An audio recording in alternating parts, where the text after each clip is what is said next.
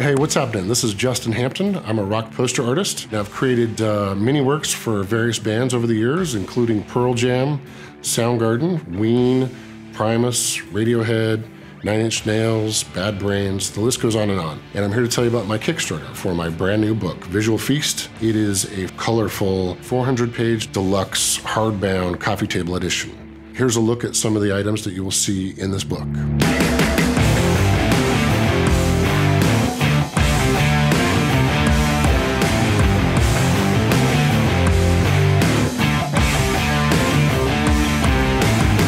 So not only does this book have my entire visual catalog that I've created over the years, but it also goes into some of the stories, including uh, growing up in a small town, moving to Seattle at the birth of the grunge era, working for a local music magazine called The Rocket back in the day, some of my early gigs where I was making literally beer and maybe 20 bucks for the gig, to uh, continue with that and working for some of the biggest bands in the world.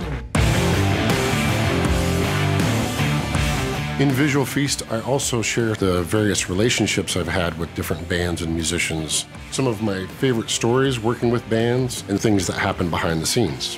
In 2003, I joined forces with two of my favorite poster artists, Jermaine Rogers and Emek, to form the collective known as Post Neo Explosionism, or PNE.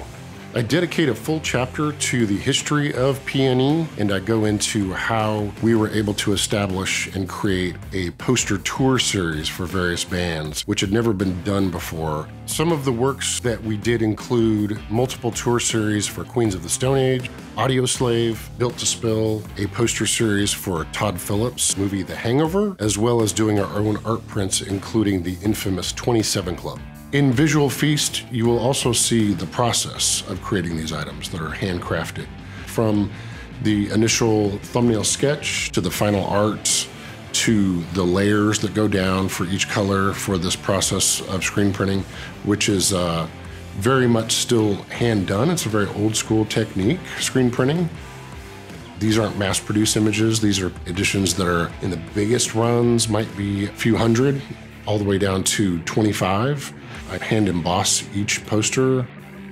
They're all signed and numbered.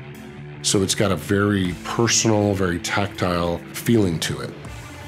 This book will have all of that, as well as my illustration works for Rolling Stone magazine and more.